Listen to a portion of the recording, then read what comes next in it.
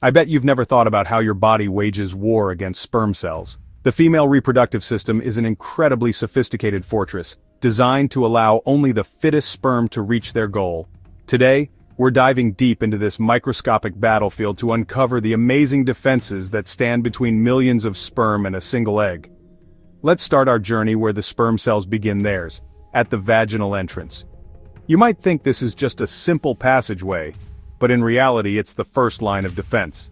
The vagina is like a pool of acid for sperm. Its pH levels are so low that most sperm are immobilized or destroyed within minutes. Some sperm do survive this acid bath. These hardy swimmers press on only to face the next challenge, cervical mucus. This isn't just any mucus, it's a dynamic, ever-changing substance that acts like a smart filter.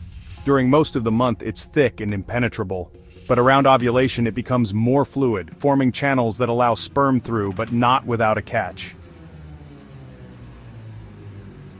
The cervix isn't just a gateway, it's more like a series of trials for sperm to overcome. Imagine, an obstacle course designed at a microscopic level. The cervical mucus forms intricate channels, and only sperm with the right shape and swimming ability can navigate through.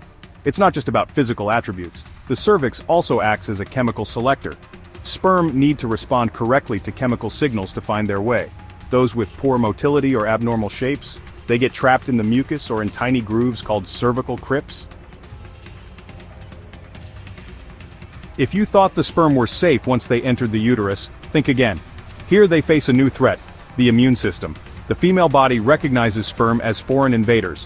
White blood cells patrol the uterine lining like an army of tiny Pac-Men, engulfing any sperm they encounter. But the uterus isn't done yet, it has another trick, contractions. These subtle, wave-like movements can either help or hinder sperm. During ovulation, these contractions can actually assist some sperm, propelling them towards the fallopian tubes. By now, only a tiny fraction of the original millions of sperm remain. The entrance to the fallopian tube acts as a final bottleneck. It's so narrow that only a few dozen sperm typically make it through. Those that do enter the tube face yet another challenge, they need to undergo capacitation. This is like a final power-up, giving sperm the boost needed for the final approach to the egg. Even at the egg itself there are more hurdles. The egg is surrounded by protective layers that sperm needs specific enzymes to break through. And here's the kicker. Even if a sperm makes it this far, it still needs to be recognized at a molecular level before it can fertilize the egg.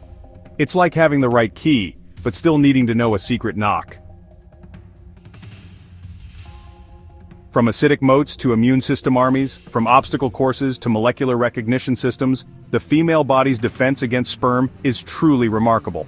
All these mechanisms ensure that only the healthiest, most robust sperm have a chance at fertilization, it's nature's way of giving any future offspring the best possible start in life.